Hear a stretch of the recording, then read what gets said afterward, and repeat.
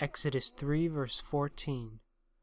God said to Moses, I am who I am, and he said, Say this to the people of Israel, I am has sent me to you. Exodus 3, verse 14.